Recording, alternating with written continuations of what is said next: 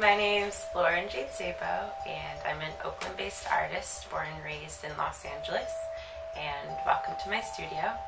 I'm an oil painter. I've been working with the medium since I was about five years old, and it's my passion.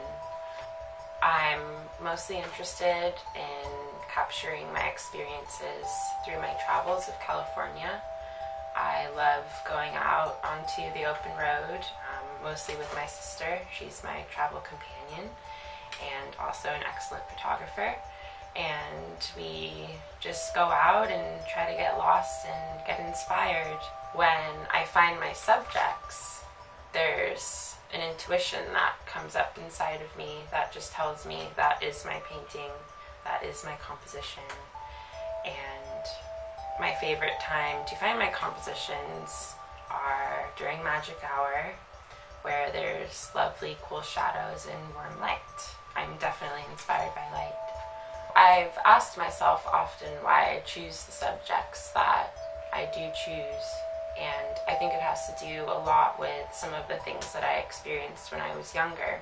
I grew up in the suburbs of Los Angeles where we had frequent fires, and I also experienced a rather large earthquake when I was eight years old and the house took a while to recover.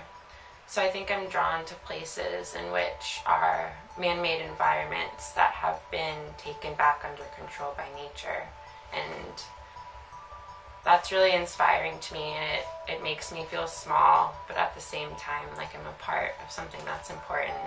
A common theme in my work is depicting the friction between civilization and nature being of this generation, we have been left with a lot of environmental issues, and I think that there's definitely some awareness that we need to realize in relation to how we interact with the environment and who really is in charge.